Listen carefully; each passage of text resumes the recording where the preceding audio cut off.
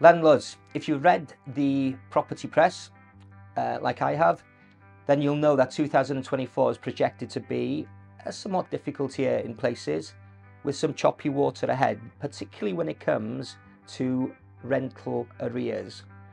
The prediction is that rental arrears will increase and that will be fueled by job losses in the main. I wanted to bring to you a product that possibly will help you consider how you mitigate against that particular risk. And it's a rent guarantee policy. Three major attributes of this policy are there is no policy excess. You'll be familiar if you've actually undertaken a rent guarantee policy previously that you'd need to suffer usually at least one month's non-payment of rent before the insurance kicks in. With this one, every single day of the tenancy is covered by the policy.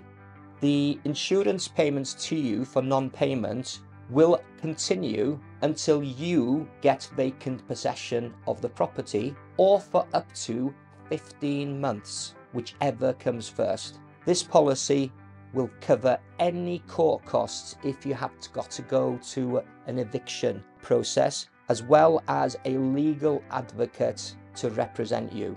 Now, the premium for this particular policy depends on the rental value that you're receiving for the house itself. So there needs to be an individual calculation for the cost, but it does represent fantastic value and we can give you free quotations to see if it meets your expectations.